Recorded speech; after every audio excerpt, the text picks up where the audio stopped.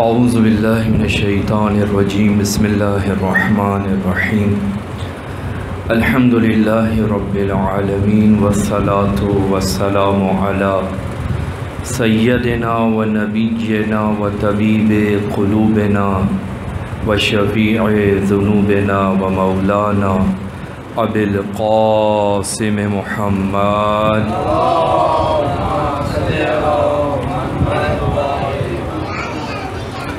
वाला बैत तयमीन ताहरीन अलमासूमीन अलमज़लूमीन लासीमा बक़ियतल्लाज़म अरवाहना लहुलफ़िदा वलानतुद्दाइमत अला आदाइहिम अजमईन मिन यौमिना इला क़याम यौमिद्दीन अम्मा बाद फ़क़द क़ाल अल्लाह सुब्हानहु व तआला फ़ी मुहकम किताबिह अऊज़ु बिल्लाहि मिनश्शैतानिर्रजीम बिस्मिल्लाहिर्रहमानिर्रहीम शहर रमज़ान अल्लज़ी उन्ज़िल फ़ीहिल क़ुरआन। हुदल लिन्नास व बय्यिनातिम मिनल हुदा वल फ़ुरक़ान। अल्लाहुम्मा सल्लि अला मुहम्मदिन व आलि मुहम्मद। अल्लाहुम्मा कुल्ल वलिय्यिकल हुज्जत इब्निल हसन। सलावातुक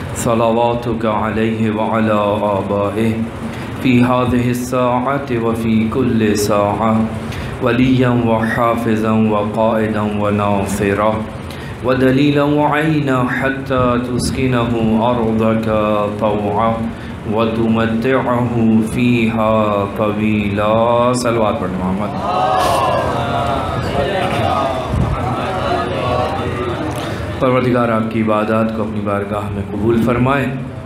आपको कोई गम न दे सिवाय गम अहल बैत। अजान मोहतरम, माह मुबारक रमज़ान की मुनासबत से जो ये दर्स का सिलसिला शुरू हुआ, आज इस सिलसिले की दूसरी कड़ी। इससे पहले कि मैं अपने मौजू की तरफ़ आऊँ, इब्तदा में कुछ मिनट मसाइल रोज़ा की तरफ़ इशारा करना चाहता हूँ। गुज़श्त रोज़ नीयत से मुतक़ चंद बातें आपकी खिदमत में अर्ज़ की। आज उसी सिलसिले को आगे बढ़ाते हुए मुबतलात रोज़ा, यानी वो चीज़ें जिस, जिनको अंजाम देने से इंसान का रोज़ा बातिल हो जाता है। चंद एक मसले उनके बयान करना चाहता हूँ। मुबतलात रोज़ा में जो सबसे पहले आम तौर पर बयान की जाती है तरतीब के अतबार से, वो है खाना और पीना। और ये वो दो चीज़ें हैं कि जिनका हमारा सबसे ज़्यादा, जिनसे हमारा वास्ता पड़ता है। नौ साल की बच्ची से लेकर जहाँ तक भी चले जाएँ, जिस उम्र का शख्स भी रोज़ा रख रहा है, ग्यारह महीने तक उसने खाना और पीना गर्मियों का मौसम हो, पानी वो नहीं छोड़ता, खाना नहीं छोड़ता। अब अचानक 11 महीने की प्रैक्टिस के बाद उसके सामने जो है वो पाबंदी लगा दी जाती है, बैरियर आ जाता है कि अब तुमने फजर से लेकर मगरिब तक खाने और पीने से परहेज़ करना है। तो अब ऐसी सूरत में जो 11 महीने की आदत हो, जो आप रोज़ाना, जो आपकी प्रैक्टिस में जो चीज़ है क्योंकि बहुत सी ऐसी चीज़ें हैं जो आपसे आपको जिनका सामना नहीं करना पड़ता। लेकिन खाना पीना एक ऐसी चीज़ है कि जो सबके सामने है। हर आदमी जो है, पानी और खाना, ये दो ही चीज़ें हैं जिसको जिसको लेकर वो जी रहा है।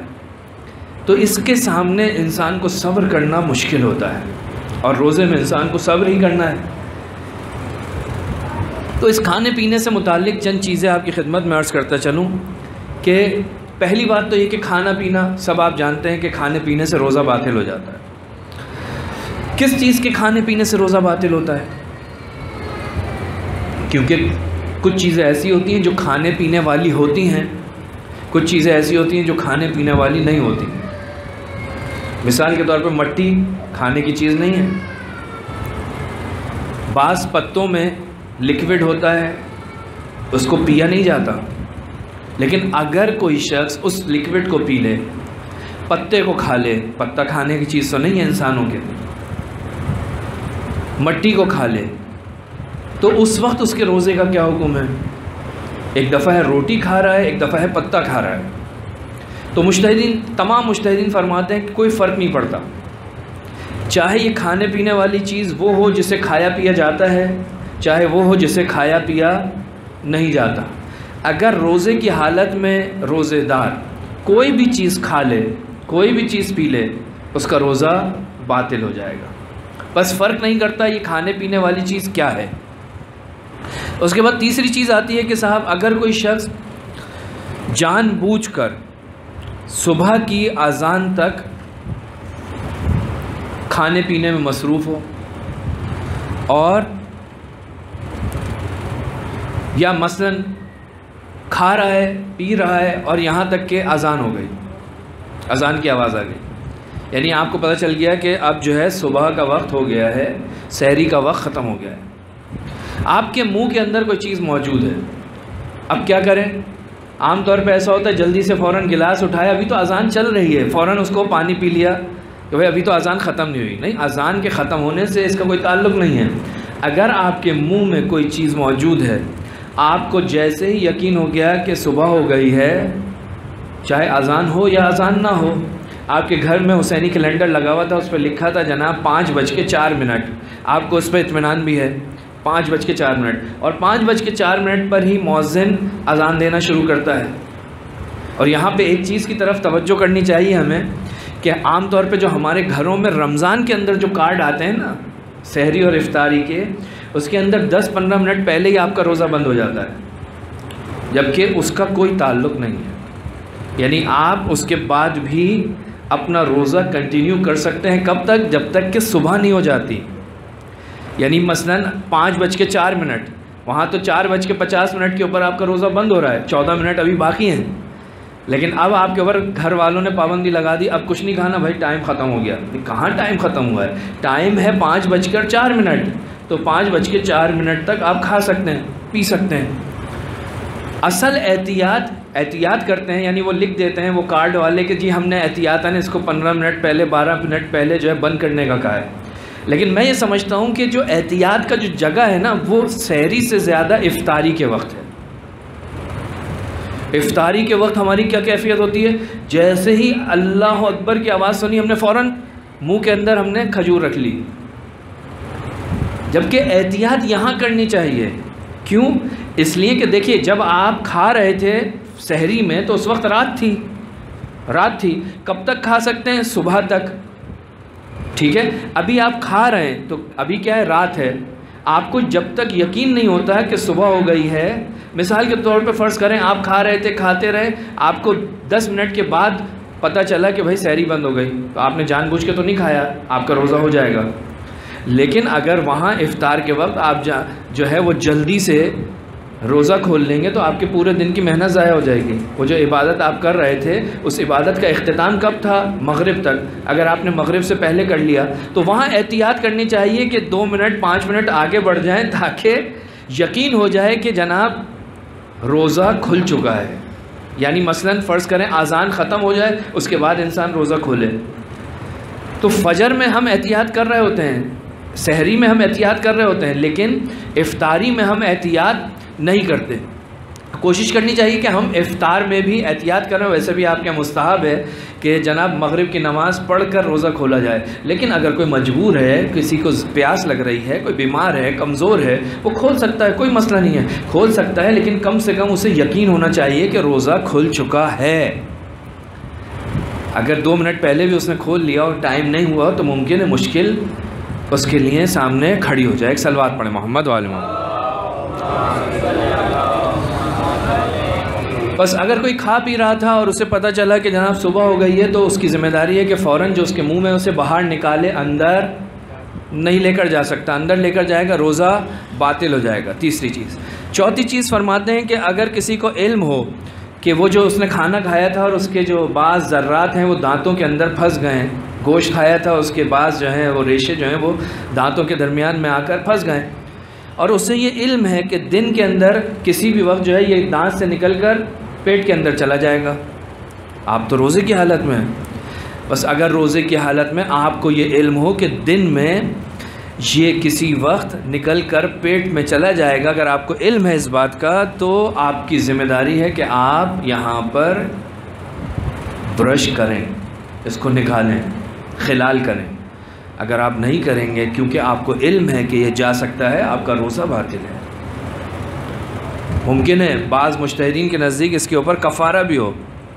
बहरहाल, इसको निकालना ज़रूरी हो जाएगा। अगर आपको इल्म है कि दिन में ये जा सकता है तो आपकी ज़िम्मेदारी है कि इससे चीज़ को, इस गज़ा के ज़र्रात को, अज्जा को, जो आपके दांतों में फंसे हुए हैं, उन्हें दांतों से बाहर निकाला जाए।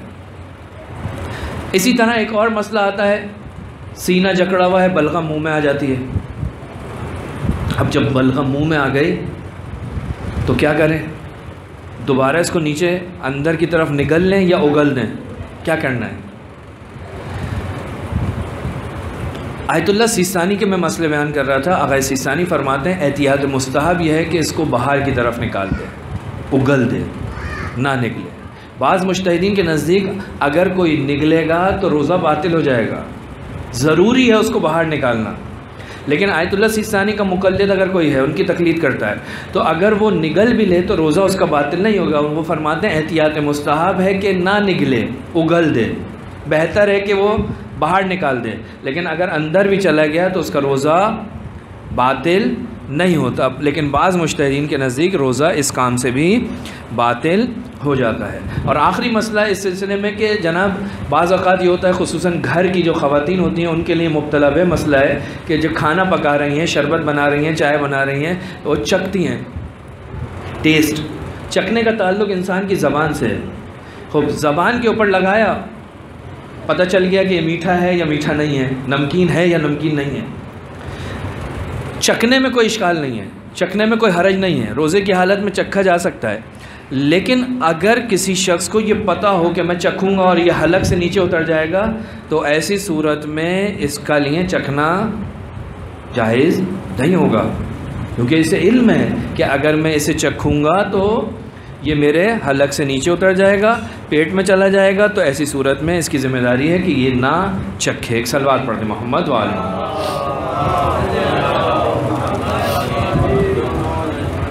ये चंद मसले थे।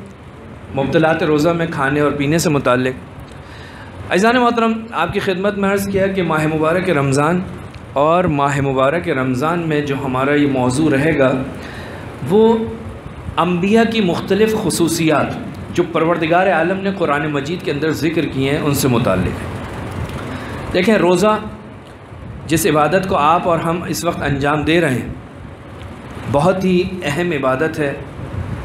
साल में एक मरतबा आती है। तीस दिन तक परवरदिगार आलम ने आपको, तमाम इंसानों को अपने इस दस्तरखान पे दावत दी है। दस्तरखान अल्लाह का है, खाने वाले हम हैं। खसूसी दस्तरखान है। पूरे साल हम उसी के सफ़रे पे बैठे हैं, उसी के दस्तरखान पे बैठे हैं, लेकिन ये खसूसी दस्तरखान है। तो अब इस दस्तरखान का जो सामना करने वाले लोग हैं ना मुख्तलिफ़ किस्म के होते हैं। कुछ लोग हैं कि जो खुशी खुशी जो इंतज़ार करते हैं जो माह मुबारक रमज़ान का इंतज़ार करते हैं कि माह मुबारक रमज़ान आए तो हम अल्लाह की इबादत करें, उसकी इतात करें। लिहाजा वो माह मुबारक रमज़ान को नेमत समझते हैं और इसका इस्तकबाल करते हैं। आयम मासूमिन की सीरत देखें, रसूल खुदा की ज़िंदगी का मुताल करें तो वो माह मुबारक रमज़ान के लिए ख़ास अहतमाम करते हैं। आते हैं तो इस्तकबाल करते हैं, जाते हैं तो खुदाफजी करते हैं। आपको दुआएँ मिलेंगी कि जिसमें आयम मासूमीन इस्तकबाल कर रहे हैं, माह मुबारक रमज़ान का खुदाफजी कर रहे हैं उससे। कुछ लोग होते हैं कि जिनके नज़दीक कोई फ़र्क नहीं पड़ता, कोई आ रहा है, जा रहा है, कुछ नहीं। लाओ बाली हैं कोई वो नहीं। कुछ लोग ऐसे होते हैं नहीं, जो नाराज़ भी हो जाते हैं। कहते हैं, अरे, माह मुबारक रमज़ान आ गया, अब तो खाना पीना गया। तो ये ख़ुद एक, ये इंसान की बदबख्ती के ऊपर दलील है। कि परवरदिगार आलम ने रहमत व मगफ़रत का महीना उसके लिए तीस दिन तक अपनी नेमतों के दस्तरखान को बिछाया है और ये शख्स उन नेमतों से महरूम हो रहा है। महरूम हो रहा है। यानी बदबख्तरीन अफराद, जो रिवायत के अंदर मिलता है कि चंद अफराद जो हैं वो बदबख्त हैं। रसूल खुदा सल्लल्लाहु अलैहि वसल्लम फरमाते हैं बदबख्त है वो शख्स के जो माह मुबारक रमज़ान को दर्द करे और बख्शा ना जाए। तो जो शख्स रमज़ानुल मुबारक के आने से नाराज़ होता है, यानी जो उससे मुँह फेर रहा है, उसके बख्शने के बारे में आप तस्वुर कर सकते हैं? नहीं कर सकते। तो हमें पहली सूरत वाले इंसान की सूरत में माह मुबारक रमज़ान की खिदमत में आना है। खुशी खुशी इसके इस्तबाल के लिए आना है। आज दूसरा रोज़ा गुजरा है, अभी 28 दिन है। आपने हर रोज़ आपके एनर्जी में इजाफा होना चाहिए डाउन नहीं होनी चाहिए, ऊपर की तरफ़ जानी चाहिए। तो अगर हम दुआओं को देखें, ख़ुद अल्लाह का नबी दुआ करता है, अल्लाहुम्मा बिलअमन वल ईमान व सलामत वल इस्लाम। मुफसल दुआएँ हैं कि परवरदिगारा इस माह मुबारक रमज़ान के चाँद के हलूल के बाद अब हमें क्या चाहिए? हमें सलामती चाहिए, हमें अमनीत चाहिए, हमें बीमारियों से निजात चाहिए, हमें ईमान चाहिए, हमें इस्लाम चाहिए। अल्लाह का नबी दुआ कर रहा है अमनीत अमन अमान अमन अमान से बड़ी कोई नेमत हो सकती है। अल्लाह का नबी अमन अमान की दुआ कर रहा है। अल्लाह का नबी सलामती की दुआ कर रहा है। दो साल पिछले गुज़र गए, किस कैफियत में गुज़रे आप सब जानते हैं। कोरोना की कैफियत थी, आप इस तरह से बैठ नहीं सकते थे। सबके मुँह ढके हुए थे और एक जगह जमा होने पर पाबंदियाँ थी, नहीं जमा हो सकते थे। क्यों? कहा कि आफियत नहीं थी। हर आदमी दूसरे आदमी से डर रहा था, कहीं इसने छींक दिया तो पता चला कहीं ऐसा तो नहीं, इसके पास कोरोना का वायरस है। और ये हम तक मुंतकिल हो जाए। अगर एक महफिल में कोई दूर भी किसी को खांसी आ जाए तो सारे पलट के उसको देखते थे कि क्या हुआ। इंसान अपनी सेहत की नस्बत हसास हो गया था, परेशान हो गया था। यानी डिप्रेशन में जा चुके थे। आफियत नहीं थी। इस वक्त ये कितनी बड़ी नेमत है। आप और हम, मैं जो है बहुत ही सुकून के साथ यहाँ पर बैठे हुए हैं। एक दूसरे के करीब भी बैठे हुए हैं, मिल भी रहे हैं, बात भी कर रहे हैं। हमारे मुँह भी छुपे हुए नहीं हैं। बिल्कुल सामने इससे बड़ी नेमत क्या हो सकती है? अल्लाह का नबी दुआ करता है, परवरदिगारा अहिल्ला बिल अमन। अमनीत ईमान, सलामत, इस्लाम और रिस्क तिलावत कुरान, नमाज़, रोज़ा, ये सारी की सारी चीज़ें जो है, ये हम इस माह मुबारक रमज़ान के अंदर अंजाम दे सकें, बेहतरीन अंदाज में। तो ये माह मुबारक रमज़ान के असरात आपके ऊपर पड़ते हैं, इस रोज़े का असरात हैं। इस रोज़े का जो सबसे पहला असर हमारी ज़िंदगियों पर पड़ता है कि हमारे ज़िंदगी में डिसिप्लिन आता है, नज़म आता है। आपकी और मेरी ज़िंदगी में। टाइम पर उठते हैं, टाइम पर सोते हैं। एक खाने की मकदार हमारी एक ख़ास वक्त पर होती है। मुनज़म हो जाते हैं। इरादा आपका मज़बूत हो जाता है। मैंने अर्ज़ किया कि अभी खाने पीने की चीज़ जो आप ग्यारह महीने तक खा रहे थे, आपने फ़ौर आकर, बारहवें महीने में आकर उसको छोड़ दिया। कितना मज़बूत आपका और मेरा इरादा हो गया कि हम एक चीज़ जो हमसे छुटती नहीं थी, हर थोड़ी देर में हम पानी पीते थे। अब हमने अचानक आकर ग्यारहवें महीने में आकर इसको छोड़ दिया। ये इरादा, ये ताकत आपके पास कहाँ से आई? तो जब आपने परवरदिगार आलम की हलाल चीज़ को, पानी हलाल था आपके लिए, जब आपके लिए परवरदिगार आलम ने हलाल जिस चीज़ को रखा था, आपने उस हलाल नेमत को अपने इख्तियार से तर्क कर दिया तो आप अंदाज़ा लगा लीजिए, जो चीज़ें हराम हैं, उनको तो आप बहुत आसानी से छोड़ सकते हैं। तो ये मज़बूत इरादा कहाँ से आया? ये इस माह मुबारक रमज़ान की बरकत है कि आपके पास इरादा आया, आपके पास नज़म आया, आपके पास सब्र आया। ये सारी इसकी बरकतें हैं इस माह मुबारक की। तो मुख्तलफ़ इसके फ़वाद हैं, मुख्तलिफ़ खसूसियात हैं, असरात हैं इस माह मुबारक रमज़ान के। हम यहाँ पर इन जो गुफ्तु रखेंगे अपने मौजू जो हमारा हमने रखा है, वो ये कि अम्बिया जो कुरान मजीद में जिन नबियों का परवरदिगार आलम ने ज़िक्र किया है, उनमें से चंद एक नबी की चंद खसूसियात की तरफ़ इशारा करना चाहेंगे। हर नबी की परवरदिगार आलम ने कोई ना कोई खसूसियात, एक, दो, तीन खसूसियात कुरान मजीद के अंदर ज़िक्र की हैं। कोशिश करेंगे किसी एक खसूसियत की तरफ़ इशारा करें और देखें वो खसूसियत हमारे अंदर है या नहीं है, किस हद तक है और क्योंकि अम्बिया की हैसियत है अम्बिया की इक्तदा करना हमारी ज़िम्मेदारी है। वो उलगू हैं, वो उसवा हैं, वो आइडियल हैं हमारे। लिहाजा हमारी ज़िम्मेदारी है कि हम उन अम्बिया की पैरवी करें। तो वो जो नबी अल्लाह की तरफ़ से आए थे, उनकी कौन सी खसूसियत थी?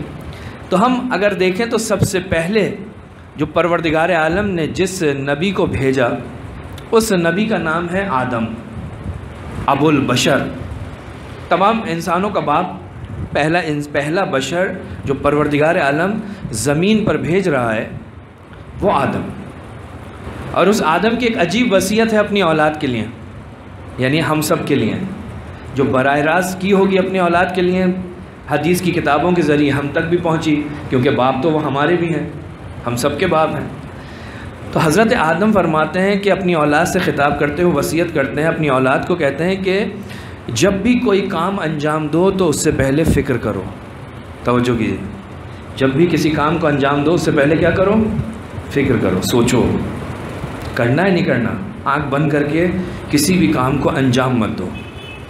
कहा, अगर मैंने फ़िक्र की होती तो मैं जन्नत से बाहर नहीं होता। ये हज़रत आदम की वसीयत थी अपनी औलाद के लिए। अलबत्त ये वो जन्नत नहीं थी कि जिसमें आपको वादा दिया गया है कि आप उस जन्नत में जाएँगे, क्योंकि उस जन्नत की खसूसियत यह है कि जो उसमें जाएगा वो वापस नहीं आएगा। ये जन्नत ज़मीन के ऊपर एक जगह थी, जन्नत थी, जो भी थी, परवरदिगार आलम ने हज़रत आदम को उस जगह पर रखा और कहा कि भाई ये मत खाना। हुक्म नहीं दिया था। लेकिन क्योंकि मकाम हज़रत आदम इतना बुलंद है कि वो अपने आप को इस अमल की मुखालफत जब उनसे हो जाती है तो वो अपने आप को गुनाहगार तस्लीम करते हैं। गुनाहगार फ़र्ज़ करते हैं। नाउज़ुबिल्ला हज़रत आदम से कोई गुनाह नहीं हुआ। यह हमारा अकीदा है। हमारा अकीदा है कि नबी, अल्लाह के नबी मासूम होते हैं। हर किस्म के गुनाह से पाक होते हैं। लिहाजा ने बाकायदा किताबें लिखी हैं इस मौजू के ऊपर कि अम्बिया मासूम हैं। ये जो चीज़ें हैं, जहाँ पर आप देखते हो कि कोई नबी आकर कहता है, परवरदिगारा, मैंने अपने ऊपर जुल्म किया, मैंने गुनाह किया। अमीर अलमोमिन कहते हैं, ज़लम तो नफसी दुआ को मैल पढ़ते हुए आप पढ़ते हैं। ये उलमा कहते हैं, यहाँ पर मुराद वो गुनाह नहीं है, जो आप और मैं समझते हैं और करते हैं। अम्बिया की शान इससे अजल है। बाज़ अवकात जो अम्बिया से जो आमाल सरजद हुए हैं, उनको कहा जाता है तरक औला। परवरदिगार ने कहा, ये नहीं करना, तुम्हारे लिए बेहतर है। कर लोगे तो कोई मसला नहीं। लेकिन उसका असर है। अगर तुम करोगे तो उसका असर होगा। हज़रत आदम और हज़रत हवा ने उस अमल को अंजाम दिया। हज़रत आदम के लिए बहुत सारी चीज़ें वाज हो गई, जो नहीं होनी चाहिए थी। हज़रत आदम जो है वो शर्मिंदा हुए, परवरदिगार आलम की बारगाह में हाथ उठाए। ये हज़रत आदम की अज़मत थी, उनका मकाम था। लिहाजा उन्होंने जब उनसे वो अमल सरजद हुआ तो उन्होंने परवरदिगार आलम की बारगाह में दुआ करना शुरू की। परवरदिगार रबना ज़लमना अनफुसना। परवरदिगारा, ज़लमना अनफुसना। मैंने जुल्म किया। किस पर जुल्म किया? हम जब भी जुल्म की बात करते हैं तो फ़ौर दूसरा आदमी जहन में आता है। हम कहते हैं, फ़ला ालिम है। तो जब आपसे कहा जाए, फ़ला ालिम है तो आपके जहन में कोई मज़लूम आ जाता है। कहा इसने, किसके ऊपर जुल्म किया? कौन मजलूम है? जबकि ज़रूरी नहीं है कि ालिम हमेशा किसी और को, के ऊपर जुल्म करने वाला हो। क्योंकि कभी कभी इंसान अपने ऊपर भी जुल्म करता है और अपने ऊपर जुल्म करने के बाद भी ालिम होता है। हज़रत आदम अला नबी नवाम इस कुरान की इस आयत में जो परवरदिगार नकल कर रहा है, हज़रत आदम क्या फरमाते हैं? रब्बाना ज़लमना अनफुसाना।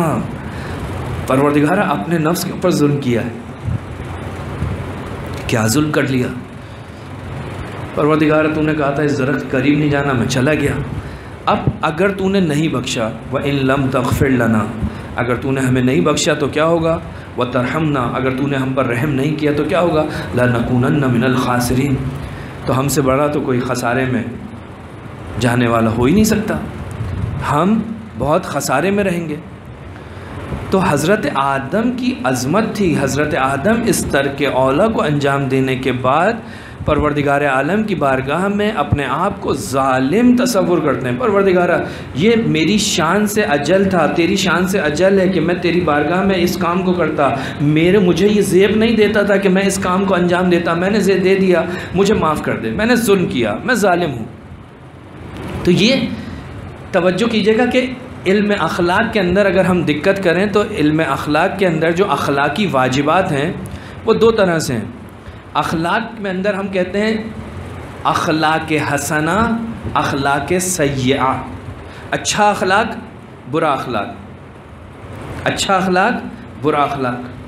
अच्छे अखलाक वाले के करीब आप जाते हैं, उसकी तारीफ़ भी करते हैं। बुरे अखलाक वाले से आप पीछे भागते हैं, दूर हटते हैं, उसकी बुराई भी करते हैं।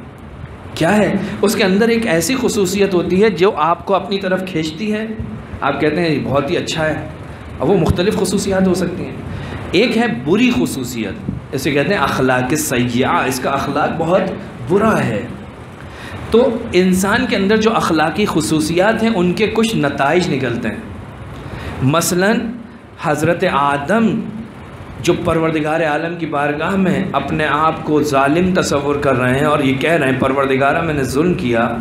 परवरदिगार आलम की बारगाह में तोबा कर रहे हैं, गिरिया कर रहे हैं। यानी गिरिया करने वालों में जो कायनात के अंदर जो सबसे ज़्यादा गिरिया करने वाले हैं, उनमें से एक हज़रत आदम है। गिरिया करने वालों में से हैं। वो हज़रत आदम के अंदर ऐसी क्या चीज़ थी? वो नबी है। हजर अखलाक हसना में से क्या चीज़ है? तवाज़ो। ये जो तवाज़ो है ना, एक सिफत है, मुतवाज़ होना। ये जो मुतवाज़ होना है, ये सिफत हसना है। आप सब जानते हैं, आप सब इसको दर करते हैं। इसके मुकाबले में आता है तकबर केबर। ये क्या है? इसको कोई भी अच्छा नहीं समझता। मुतकबर इंसान है। ये क्या है? सिफत सयाह है, बुरी सिफत है। बस आपके पास एक अखलाक हसना है, एक अखलाक सयाह है। एक अच्छी सिफत है, एक बुरी सिफत है। हज़रत आदम जो आते हैं, वो क्या है? मुतवाज़ हैं। हज़रत आदम के मुकाबले में जो परवरदिगार की एक दूसरी मखलूक है, वो क्या है? मुतकबर है। वो कौन है? वो है इबलीस। वो है इबलीस। हज़रत आदम की ये जो तवाज़ो है, ये तवाज़ो का जो नतीजा निकलता है, वो किस सूरत में निकलता है? वो निकलता है तोबा की सूरत में। जब इंसान मुतवाज़ होता है और वो समझता है कि मुझसे कोई गलती हो गई तो फ़ौर एक्सक्यूज़ करता है, माफ़ी माँगता है। लेकिन अगर किसी इंसान के अंदर कोई सिफत सयाह हो, मसलन तकबर हो तो तकबर का जो नतीजा निकलता है, वो निकलता है तमर्रुद। तकर, तक तकबर का जो नतीजा निकलता है, वो निकलता है गुनाह, इसियान। यानी वहाँ पर सॉरी नहीं होती, वहाँ पर होती है कि तू नहीं किया है। अपना गुनाह भी सामने वाले की गर्दन पर डाल दिया जाता है, जैसा कि इबलीस ने किया। हज़रत आदम से एक कोताही हुई। हज़रत आदम ने परवरदिगार आलम की बारगाह में गिड़गिड़ाना शुरू कर दिया। परवरदिगार गलती हो गई। क्या किया? तोबा की। ये जो तोबा है ना, ये हज़रत आदम की तोबा, ये बहुत अहम है। ये महीना जो है, तोबा का महीना है। इस्तफ़ार का महीना है। इस माह मुबारक के रमज़ान की जो एक खसूसियत है, वो क्या है? वह है तोबा। वह है इस्तफ़ार तोबा और इस्तफ़ार है कि जिसकी वजह से परवरदिगार आलम की रहमत आप पर, मुझ पर इंसानों पर नाजिल होती है। ख़ुद कुरान मजीद में परवरदिगार फरमाता है, लौला तस्तफ़िरून अल्लाकुम तुरहमून। अगर चाहते हो परवरदिगार आलम तुम पर रहम कर इस्तफ़ार करो। इस्तफ़ार सबब बनता है अल्लाह की रहमत के नज़ूल का। हज़रत आदम ने तोबा करना शुरू कर दी। हज़रत आदम की एक सिफत हसना क्या है? तोबा। जो हर इंसान के अंदर होनी चाहिए। इस तोबा की अहमियत कितनी है? इतनी अहमियत है कि हम सोच नहीं सकते। इसकी अहमियत में अगर सिर्फ़ और सिर्फ़ एक आयत आपके सामने आ जाए, वो क्या? का परवरदिगार आलम किन लोगों को पसंद करता है? चंद लोग ऐसे हैं, चंद गिरोह ऐसे हैं कि जिनके बारे में परवरदिगार आलम ने कुरान मजीद में कहा है कि मुझे ये पसंद है।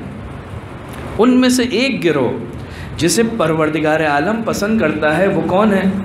कुरान मजीद में इरशाद फरमाता है इन्नल्लाहिब्बीन परवरदिगार आलम तोबा करने वालों को पसंद करता है। तोबा करने वालों को पसंद करता है। ये तोबा होती कैसे है? ये तोबा ऐसे होती है कि इंसान क्या कहता है? कहता है, गलती हो गई, माफ़ कर दीजिए, आइंदा नहीं होगी। ये तीनों चीज़ें होनी चाहिए। इंसान को इल्म हो कि मैंने गलती, गलत किया है, इंसान माफ़ी मांगे और आइंदा ना करने का इरादा रखता हो। अगर ये तीन चीज़ें हैं तो ये तोबा है। बस तोबा में ये तीन चीज़ें होना ज़रूरी हैं। तोबा ये नहीं है कि सिर्फ़ ऐसे ही चलते फिरते आकर इंसान के दिमाग कहीं और है, ज़बान कहीं और चल रही है सफ़रल्ला रबी वातुब तोबा ये नहीं है। तोबा यानी तवज्जो। तवज्जो के साथ हो कि मैं क्या कर रहा हूँ, क्या कह रहा हूँ, किस लिए कह रहा हूँ। आइंदा ऐसा करने का कोई इरादा है या नहीं है? तो तोबा एक ऐसी सिफत है कि जिसकी वजह से परवरदिगार आलम की रहमत इस इंसान पर नाजिल होती है। बस तोबा यानी आइंदा ऐसा नहीं होगा। गुनाह की तलाफ़ी, शर्मिंदगी, तर्क करना, ठीक? अब तोबा, तोबे को जो ताबीर किया है अखलाक ने, कहते हैं तोबा ऐसा है कि जैसे गंदे लिबास को अपने बदन से उतार देना। जब इंसान तोबा करता है, क्यों नहीं करते तोबा? मगर तुम्हें अपने पुराने और गंदे लिबास को उतारने में कोई मुश्किल होती है? इंसान खुशी खुशी तब्दील करता है। कहा कि तोबा जब करता है तो इंसान के जिस्म के ऊपर जितने भी उयूब होते हैं, वो सब के सब उसके उयूब उससे बरतरफ हो जाते हैं। फिर तोबा करने में क्या है? क्या आ लेकिन कुछ इंसान ऐसे होते हैं कि जो इन तमाम चीज़ों को समझते हुए भी तोबा नहीं करते। परवरदिगार आलम के सामने खड़े हो जाते हैं। हज़रत आदम तोबा कर रहे हैं, लेकिन इबलीस तोबा नहीं कर रहा। और तोबा करने के बाद इंसान की कैफियत क्या होती है? रिवायत कहती है, रसूल खुदा फरमाते हैं अताइब मिनज़म कमन लाजम बलहू जो शख्स तोबा करता है ना गुनाह से, वो ऐसा होता है कि जैसा कि उसने कुछ किया ही नहीं है। गुनाह किया ही नहीं है। और खुदा ऐस तोबा करने वालों को तीन तोहफे अता करता है। तवज्जो कीजिएगा। जब इंसान तोबा करता है तो परवरदिगार को बहुत अज़ीज़ हो जाता है। इस तोबा के नतीजे में जो इंसान को जो चीज़ें हासिल हो रही हैं, पहली चीज़ जो मैंने आपकी खिदमत में अर्ज़ की, पहली चीज़ ये कि परवरदिगार आलम का महबूब हो जाता है। परवरदिगार आलम इससे मोहब्बत करता है और जिससे परवरदिगार आलम मोहब्बत करे, उस पर अजाब नहीं आता। पहला तोहफ़ा। दूसरा तोहफ़ा क्या है? परवरदिगार आलम के जो अर्श को उठाने वाले फ़रिश्ते हैं और जो उनके अतराफ़ में जो मौजूद फ़रिश्ते हैं, परवरदिगार आलम उनसे कहता है कि इस शख्स के लिए, इस तोबा करने वाले के लिए दुआ करो। तोबा करने वाला कितनी अहमियत का आमिल है कि परवरदिगार का महबूब होता है, परवरदिगार फ़रिश्तों से कहता है कि तुम इसके लिए दुआ करो। और तीसरा ये कि इसके गुनाहों को परवरदिगार नेकियों में तब्दील कर देता है। माफ़ तो किया किया, इसके गुनाहों को भी वो जो इसने गुनाह किए थे पिछले, वो सारे के सारे तब्दील हो गए, ज़ीरो नहीं हुआ, ख़त्म नहीं किया, मिटाया नहीं, बल्कि उन गुनाहों को नेकियों में परवरदिगार आलम तब्दील कर देता है। ये तीन तोहफे परवरदिगार आलम, इस गुनाह के बाद तोबा करने वाले को परवरदिगार आलम अता करता है। एक शख्स था, जवान था, बीस साल तक उसने परवरदिगार आलम की इबादत की। बीस साल के बाद अचानक आके उसने गुनाह शुरू किया। परवरदिगार आलम से कहा, परवरदिगार, शर्मिंदा हूँ, पलटना चाहता हूँ, वापस आना चाहता हूँ। बीस साल तक बहुत गुनाह कर लिए, लेकिन अब एहसास हो गया, गलती पर था। कहा कि उसे जवाब दिया, आवाज़ आई, कहा कि अगर तू हमें पुकारेगा तो हम तेरा जवाब देंगे। तू हमारी तरफ़ आना चाहेगा तो हम तुझे अपनी तरफ़ बुलाएँगे। अगर तू हमें तर्क कर देगा तो हम भी तुझे तर्क कर देंगे। अगर तू हमारी शान में, तू अगर गुनाह का मरतकब होगा तो हम तुझे तेरे हाल पर छोड़ देंगे। और अगर तू हमारी तरफ़ पलटेगा तो हम तुझे कबूल करेंगे। इंसान तोबा के ज़रिए परवरदिगार आलम की तरफ़ पलटता है। लिहाजा तोबा के दो माना हैं। एक तोबा बंदे की तरफ़ से होती है, एक तोबा अल्लाह की तरफ़ से होती है। इंसान अल्लाह की तरफ़ पलटता है और परवरदिगार आलम अपनी रहमत के दरवाज़े इस बंदे पर खोल देता है। एक सलवार पढ़े, मोहम्मद वाले।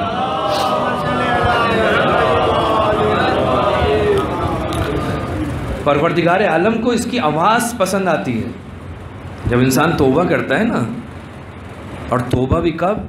रिवायत कहती है, तीन आवाज़ें ऐसी हैं जो परवरदिगार को बहुत पसंद है। एक मुर्गे की आवाज़, जो मुर्गा सुबह सुबह अंधेरे में सहरखीज़ आवाज़ निकालता है, परवरदिगार आलम को उसकी आवाज़ पसंद है। दूसरी आवाज़ कहते हैं कारी कुरान। कुरान का महीना है। यकीनन हमेशा इंसान को कुरान की तिलावत करनी चाहिए, लेकिन ये महीना तो ख़ास कुरान का महीना है। इसमें किरात का कारी कुरान की आवाज़ परवरदिगार आलम को बहुत पसंद है। और तीसरी आवाज़ कौन सी है? का अल्लजीन यस्तफ़रून बिल असार जो रात की तारीखी में उठ जाते हैं और परवरदिगार की बारगाह में आकर शहर के वक्त इस्तफ़ार करते हैं, तोबा करते हैं। परवरदिगार आलम को इनकी आवाज़, इसकी आवाज़ पसंद है। और जब ये परवरदिगार आलम को इस मौके पर पुकारता है, तोबा करता है परवरदिगार की बारगाह में तो इसके नतीजे में पसंद होना अपनी जगह। इसके नतीजे में परवरदिगार आलम इस शख्स को कुछ चीज़ों से, कुछ चीज़ें अता करता है। एक तो यह कि शैतान की शर से महफूज हो जाता है। शैतान की शर से महफूज हो जाता है। रिवायत कहती है, सलासतुन मासूमीन बिल इबलीस। तीन गिरोह ऐसे हैं कि जो मासूम होते हैं, जो बच जाते हैं इबलीस से, शैतान से। एक कौन? अज़ाकिरून अल्लाह जो अल्लाह का ज़िक्र करे, वो महफूज हो जाता है शैतान के फंदे से। उसके फंदे में नहीं फंसता। दूसरा, फरमाया, अलबाकून मिन खशियत जो अल्लाह की खशियत की खातिर गिरिया करे, वो शैतान के फंदे में नहीं फंसता। तीसरा कौन? अलमुस्तफ़िरून बिल असार जिसकी आवाज़ परवरदिगार आलम पसंद करता है, ये आवाज़ जो शहर के वक्त अस्तफ़िरल्लाह और तोबा के ज़रिए जो परवरदिगार को ये शख्स जो पुकार रहा होता है, परवरदिगार आलम इस आवाज़ को पसंद भी करता है और इस आवाज़ निकालने वाले को शैतान के चुंगल से महफूज कर देता है, बचाता है। हज़रत आदम ने अपने गुनाह का इकरार किया। रब्बाना ज़लमना अनफुसना। लिहाजा तोज़ो थी। उस तवाज़ो के नतीजे में फ़ौर तोबा आ गई। तवाज़ो का असर तोबा के ज़रिए ज़ाहिर हुआ। मुझसे गलती हुई, मैं माफ़ी मांगूँगा। लिहाजा हज़रत आदम ने क्या किया? तोबा की। लेकिन कभी कभी ऐसा होता है कि तोबा नहीं करता इंसान, बल्कि जहाँ पर तकबर होता है, गुरूर होता है, वहाँ पर इंसान ना सिर्फ़ तोबा नहीं करता, बल्कि अपने गुनाह को दूसरे की गर्दन के ऊपर डालने की कोशिश करता है। करबला का वाक़ हुआ। यजीद क्या कहता है? कहा कि अल्लाह ने हुसैन को कत्ल कर दिया। अपना गुनाह परवरदिगार की गर्दन के ऊपर डाला जा रहा है। रिश्वत ले रहा है, कहा कि ये अल्लाह की देन है, तोहफ़ा है। भाई, ये कैसा तोहफ़ा है? किसी पर जुल्म कर रहा है, कहा, हम जुल्म थोड़ी कर रहे हैं। ये तो खुद अपने आप को इस जगह पर लेकर आया है तो इसके ऊपर जुल्म हो रहा है, ये ऐसा हो रहा है। हम तो कुछ नहीं कर रहे हैं। बुत परस्ती कर रहे हैं। कहा, ये, हम क्या कर रहे हैं? हमारे तो बाप दादा यही करते थे, हम तो ऐसे ही करेंगे। बाप दादा की गर्दन पे क्यों डाल रहे हो? तुम्हें अल्लाह ने अक्ल अता की है। अक्ल से काम लो। यानी अपने गुनाह को दूसरे की गर्दन के ऊपर डाल देना। इबलीस ने भी क्या किया? हज़रत आदम में क्योंकि तोज़ो थी, लिहाजा वो झुके, उन्होंने परवरदिगार आलम की बारगाह में कहा, परवरदिगार, गलती हो गई, तोबा करता हूँ, माफ़ कर दे। लेकिन इबलीस ने क्या किया? जब इबलीस को परवरदिगार ने कहा कि जाकर आदम के सामने झुक जाना, इबलीस ने इनकार किया तो उसके बाद क्या हुआ? जब परवरदिगार ने निकाल दिया अपनी बारगाह से तो कहा कि रब अगवैतनी परवरदिगार, तूने मुझे गुमराह किया है। अपना गुनाह परवरदिगार आलम की ज़ात के ऊपर पलटा रहा है। कहा, तेरी वजह से मैं ऐसा हुआ हूँ। तूने मुझे अगवा किया है। तो अजान मोहतरम, परवरदिगार आलम को एतराफ़ को पसंद है। हज़रत आदम यानी आपकी ज़िंदगी में, हमारी ज़िंदगी में दो एतराफ़ होने चाहिए। एक क्या? इमाम फरमाते हैं, पाँचवें इमाम फरमाते हैं कि अगर तुम्हें परवरदिगार आलम कोई नेमत देता है तो उस नेमत का इकरार करो कि परवरदिगार, तूने मुझे ये नेमतें अदा की हैं।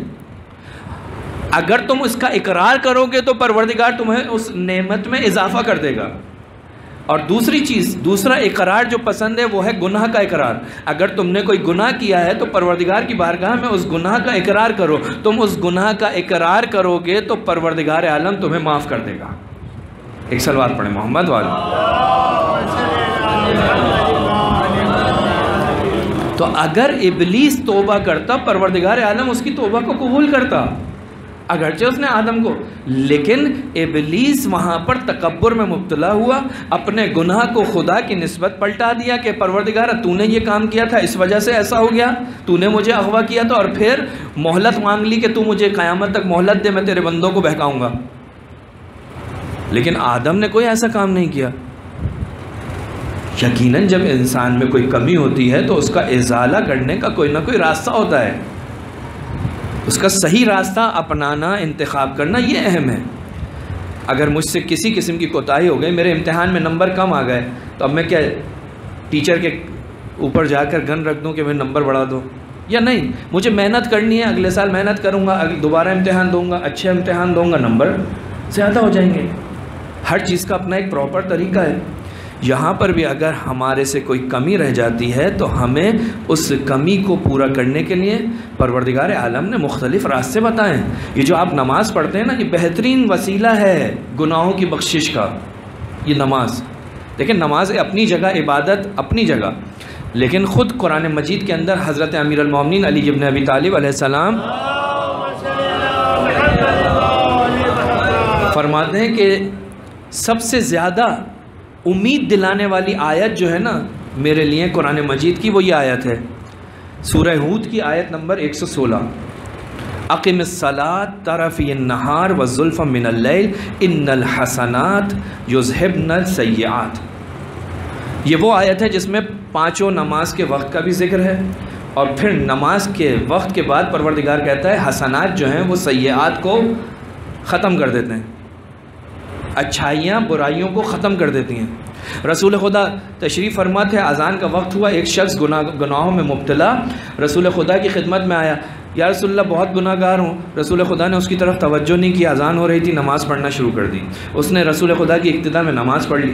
जब नमाज़ पढ़ चुका तो रसूल खुदा के पास फिर दोबारा आया, कहा, या रसुल्ला बहुत बहुत गुनाह किए हैं। तो रसूल खुदा ने कहा मगर तूने अभी नमाज़ नहीं पढ़ी? कहाँ पढ़ी है। कहा, नमाज़ पढ़ ली, सब ख़त्म हो गया। नमाज़ पढ़ ली, ख़त्म हो गया। इन हसनात न सयात नमाज़ पढ़ी तूने, तू पाक हो गया। बस बुराइयों को ख़त्म करने का एक ज़रिया क्या है? नमाज़ है आपकी। आप दूसरों के साथ अच्छा करें, अल्लाह आपके साथ अच्छा करेगा। ये ज़रिया है, ये तरीका है। आप माफ़ करें, परवरदिगार आलम आपको माफ़ करेगा। ये तरीका है। आप अल्लाह और रसूल से मोहब्बत करें परवरदिगार आलम आपके गुनाहों को माफ़ कर देगा। इनकुन तुम तो हिब्बून अल्लाह फ़तबूनबकुमल्ला व यगफ़िर लकुम। अल्लाह मोहब्बत भी करेगा और तुम्हें बख्श भी देगा। अमीर अमीरमिन और अहल बैतम से मोहब्बत करोगे, तुम्हारे गुनाह झाड़ दिए जाएँगे। तो अजान मोहतरम हर चीज़ का एक तरीका है। गुनाह के बाद जो आपके लिए ज़रूरी है, हमारे लिए ज़रूरी है, वो है तोबा। और तोबा उस वक्त तक इंसान नहीं करता जब तक उसमें तोज़ो ना हो। हज़रत आदम की जो एक खसूसियत कुरान मजीद में बयान की जा रही है, वो क्या है? वो है तोबा, जो कि निकलती है तोज़ो से। और ये महीना रमज़ानमबारक का महीना। रिवायत में कहती है कि इसका नाम रमज़ान इसलिए रखा कि ये गुनाहों को जला देता है। ये महीना इंसान के गुनाहों को जला देता है। बेहतरीन फुर्सत है, बेहतरीन मौका है। ये तोबा का महीना है इस्तफ़ार का महीना है। तो बेहतरीन फुर्सत है अपने गुनाहों को मिटाने की। ऐज़ान मोहतरम, आज आपने मुबतलात रोज़ा में आपकी खिदमत मैंने अर्ज़ किया कि एक क्या है? पानी, प्यास। जब प्यास लगती है तो आपका पानी का दिल चाहता है। मेरा दिल चाहता है दो जुमले मसाइल के आपकी खिदमत में अर्ज़ करता चलूँ? जब आपको प्यास लगती है तो आप जब इफ़ार करते हैं ना तो चंद गिलास कुछ नहीं चाहिए होता, आपको पानी चाहिए होता है। चंद गिलास आप पूरी बोतल पी जाते हैं। लेकिन मेरा मौला हुसैन इतना मज़लूम कि करबला में अपने एक शिश माहे को उठाकर मक्तल में लेकर आता है और उसके लिए चंद बूंद पानी का तकाजा कर रहा है। आप सुबह से शाम तक प्यासे होते हैं, तीन दिन का प्यासा है अली असगर। दूध मौजूद नहीं है, पानी मौजूद नहीं है। जब मेरे मौला हुसैन ने आवाज़ इस्तासा बुलंद की ना तो अली अली असगर में कहाँ से इतनी ताकत आई? रिवायत कहती है, अपने आप को झूले से गिरा लिया। अब खैम हुसैनी से बीवियों के रोने की आवाज़ें बुलंद हो रही हैं। बीबियों की आवाज़ का बुलंद होना था। इमाम हुसैन ख़याम हुसैनी की तरफ़, अपने खैमों की तरफ़ तशरीफ़ लाए। कहा, ए जैनब, क्या बात है? ये गिरिया की आवाज़ें क्यों बुलंद हो रही हैं? कहा, भैया, जब से आपने इस्तासा बुलंद किया है, अली असगर को करार नहीं है। एक मरतबा कहा, आपकी बहन, लाओ मुझे दे दो। मैं इस बच्चे को, इस नन्हे मासूम को अपने साथ लेकर जाता हूँ। मुझ पर तो जहम रहम नहीं किया। शायद इस बच्चे पर रहम कर दें। तारीख़ कहती है, इसकी माँ ने इसे सजा कर दिया है। बाज़ा कहते हैं, जब जनाब रुबाब अपने इस फर्जन को दे रही थी तो कान में कुछ कहती जाती थी, कुछ कहती जाती थी। मुझे नहीं मालूम क्या कहा। बाज़ा कहते हैं कि एक जुमला, उन जुमलात में से तीन जुमलात नकल किए हैं, उनमें से एक जुमला ये था, कहा कि, बेटा देखो, जब तक तुम्हारे बाबा के चाहने वाले ज़िंदा थे ना, तुम्हारे बाबा के कोई तीर नहीं लगा।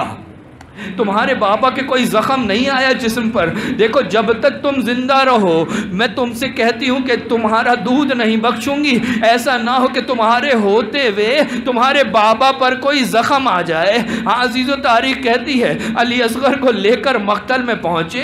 एक मरतबा उनके सामने अली असगर का चेहरा ज़ाहिर किया। कहा कि अगर मुझ पर रहम नहीं करते, इस बच्चे को कुछ पानी की, कुछ मकदार कुछ बूंदे ही दे दो। लेकिन तारीख कहती है कि उधर से पानी तो ना आया। एक मरतबा जब जनाब अली असगर से हुसैन ने कहा, ए बेटा, इनके ऊपर अपनी आखिरी हुज्जत तमाम कर दो।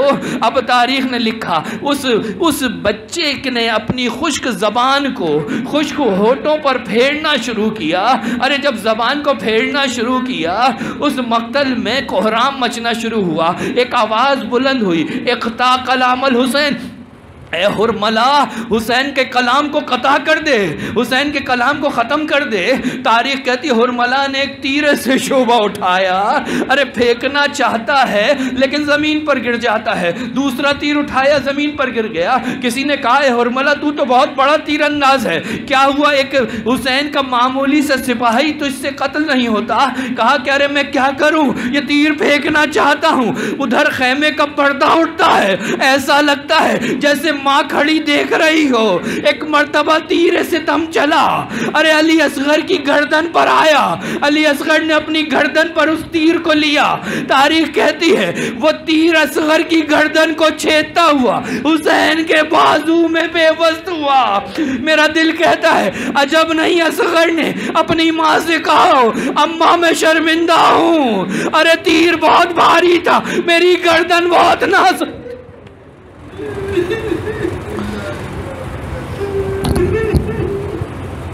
अलानतल्लाकौमसालमीन वसयालमदीन ज़लमकलबिन परवरदिगार हमारी इबादत अपनी बारगाह में कबूल फरमा हमें कुरान व अहल बैत से मुतमसिक रहने की तोफ़ी अता फ़रमा ज़्यादा से ज़्यादा इस माह की बरकतें समेटने की तोफ़ी अता फ़रमा परवरदिगार हमारे गुनाहों को माफ़ फरमा हमारे मरूमिन की मफ़रत फरमा परवरदिगार जहाँ जहाँ अहल बैत के चाहने वाले आबाद उनकी जान, माल, इज़्ज़त, आबरू की हिफाजत फरमा परवरदिगार तुझे वास्ता मोहम्मद वाल मोहम्मद की अजमत का। हमारे वक्त के इमाम के ज़बूर में ताजील फरमा हमें उनके अवान अनुसार में शामिल फरमा एक मरतबा सुर हम, तीन मरतबा सुर अखलास पढ़ के तमाम मरहूम, मोमनी, मोमनात के साल सवाब की तिलावत फरमा बसमीम अलहमदिल्ला रबालमीन रहमान मालिक यौमिद्दीन।